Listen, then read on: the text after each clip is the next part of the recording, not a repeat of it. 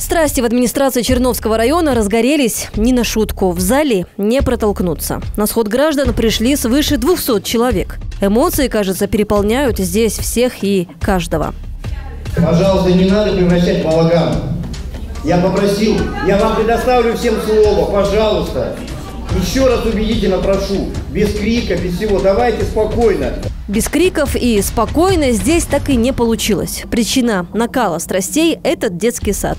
Объект – собственность городского округа. Однако вот уже несколько лет как здание заброшено, а детские голоса не звучат здесь из-за того, что… Денежных средств на глубокую модернизацию, реконструкцию этого объекта за этот период времени изыскать городу не удалось. Вот. Э, в течение этого периода времени объект, находясь в казине города, э, находится под охраной. Э, город несет расходы, связанные с его содержанием, охраной, прежде всего, освещением на якобы охрану здания, которое, по словам Шмулевского, на объекте находится постоянно, за несколько лет потратить пришлось около трех миллионов рублей. Правда, каким образом охранялось здание, местные не понимают до сих пор. Новые стеклопакеты разбиты, батареи отопления срезаны. Воды и освещения здесь тоже нет, как и круглосуточной охраны. Ее из присутствующих не видел никто. Там, Там передавали, что находится дедушка-пенсионер. Вот он следит за общим содержанием. Ну, 3 миллиона в год. Да. На дедушку они потратили? Но. Сказали, да какая собаки жили Собак? на окнах. Собаки жили да. бездомные. бездомные. На окнах наклеили много. «Осторожно, собаки». Да. Это И у нас вот так в районе. помещении, не на территории в самой, ну, а в помещении. Это Они у нас в районе вот так решаются проблемы. Да.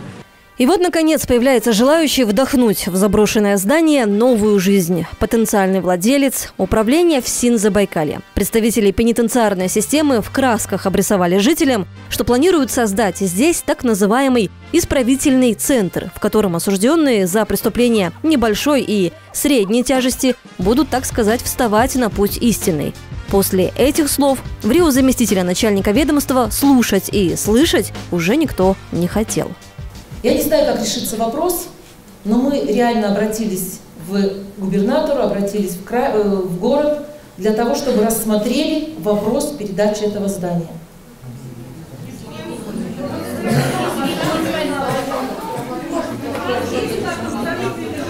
Я понимаю. А давайте я буду вести, ладно? Вот вы присядьте, пожалуйста. Присядьте, пожалуйста, я вас убедительно прошу. Центр, центр будет под круглосуточным надзором сотрудников, в том числе и э, осужденные, которые будут в нем находиться. Пожалуйста, давайте выслушаем. Женщина, вот можно вас попросить? Василий Трусабаев предлагает землякам посмотреть фильм об исправлении осужденных, однако и этот ход здесь не срабатывает. Жители в знак протеста звуки кино стараются заглушить аплодисментами. Нас попросили включить вам фильм, который как бы немножко раскрывает. Пожалуйста, без крика. Исправить ошибку и начать жизнь с чистого листа. А после главный модератор площадки Трусабаев дает возможность жителям высказать свое мнение, и оно еще раз подтверждает общее настроение. Почему не построите в северном микрорайоне? Или в центре, вот на площади прямо возьмите э, и пусть там поставят это. Почему у нас КСК считается как ГУЛАГ? Всех к нам давайте ссылаемся. Детские дома нам построили детям, сиротам. Дай бог им, пусть живут. Они же ведь все разрушили. Так что вот я задаю вам вопрос. Почему? Вы-то здесь не живете на КСК? Нет. Естественно. И вам зачем? Все, давайте сюда сошлем всех. Всех нерадивых сюда. Вот у нас центр временной изоляции несовершеннолетних на 9 сотки. Вот есть же там, да, уже? Как бы, он рабочий, да, у нас? Зачем создавать в центре КСК, КСК. где дети, садики? Дети, Вообще, для чего это у вас сами? Это самый криминальный район Черновский считается. У нас там в основном вокруг вот этого помещения школы, садики, помещения ходят. Жизнь и ваших детей, наших детей. Так это наши дети будут видеть, вы понимаете? И это почему не в центре, это КСК? Возьмите, сделайте посещение Это еще ничего не решено, но представить такое, что там будет все-таки сие заведение. Я утром встаю, я своему сыну, которому 15 лет, я ему буду говорить, Андрюша, будешь себя вести плохо, ты поедешь в Лугана? Мне так ему говорить? Вопрос. Скажите, пожалуйста, вы хотите это видеть в своем окне? Ответьте, пожалуйста. Никак не объясняйте. Мы также решили адресовать свой вопрос лично главе района, однако повелитель микрофона не спешил давать его нам, то и дело обходя стороной.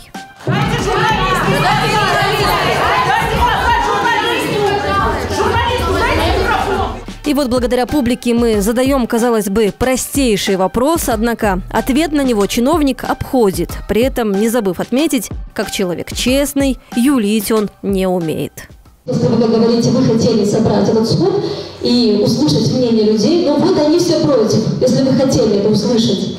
Вопрос, а ваше личное какое мнение к этой ситуации? По жизни я всегда, когда есть проблема, меня так в школе научили. Я тетрадный лист когда решаю вопрос, делю на две части. За и против. И отсюда принимаю решение. Я пока не буду говорить свое решение, потому что я вас выслушал.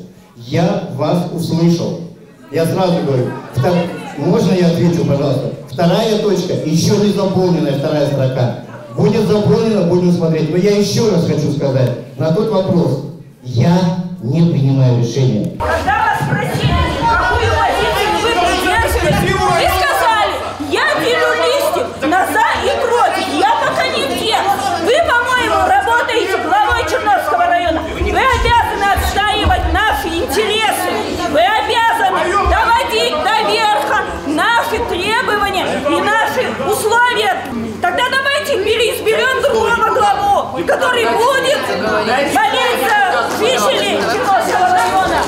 завершении встречи Василий Трусабаев отметил, судьба здания в руках депутатов Думы городского округа город Чита. Окончательное решение за ними.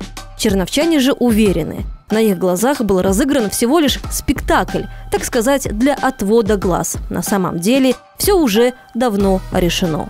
Мы не надеемся Можно на такого сказать человека. Мы района? надеемся на вас, надеемся на то, что все высказались, что мы против, против э, вот Отдайте это. детям здание. Ага. Можно же и центр какой-то сделать. Вот у Бассейн, меня кинотеатр. правнучка э, ходит на танцы на ГРЭС. А что бы она на ГРЭС, когда она здесь рядом выходила? Она, мы рядом живем. У меня внук спортом занимается, Но. вторые места по хоккею, по футболу Во. занимает. А ездит на ГРЭС, на Во, стадион. во, на правильно. ГРЭС, на стадион ездит. Ну это что такое-то? глава района, который говорит, что он что он не имеет своего мнения, он не имеет влияния на власть. Хотя он уже Если всё он так говорит, зачем Они нам уже тогда давно глава?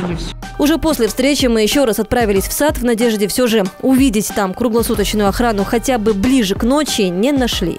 Несмотря на то, что прошли по периметру всей территории. Каждое утро гуляю с собакой и вижу, что охранников здесь нету, не присутствуют они.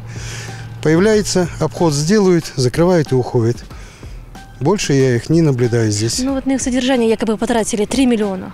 Да, то, что сказали на содержание охранников, которых здесь нету, и то, что освещение, но нету здесь ни освещения, ни охранников. На что потрачены деньги, не знаю. Но собаки здесь есть, да? Собаки, было 7-8 собак, сбили стаю, налетели на ребенка, я позвонил в службу, приехали, отловили собак. Сейчас меньше. И много пакетов, говорят, что люди кидают. Собаки с помойки затаскивают сюда и здесь грызут. И у них уже здесь стаи сбиваются, и у них как логово здесь. Анжелика Понебрашина, Алексей Павлов, ЗАП-ТВ. Дорогие наши подписчики и зрители, наконец-то нам понадобилась и ваша помощь. Нас, неравнодушных заптвшников, должно становиться больше с каждым днем. У нас есть крутая цель, и именно поэтому у нас к вам конкурс. Условия вот. Смотрите наши сюжеты и ролики, обязательно ставьте лайк, делайте репост друзьям, добавляйте комментарии. А каждую пятницу наш рандомайзер определит одного из вас как победителя. Призы от нас – это вкуснейшие бургеры. Нам очень нужна ваша поддержка и важно ваше мнение.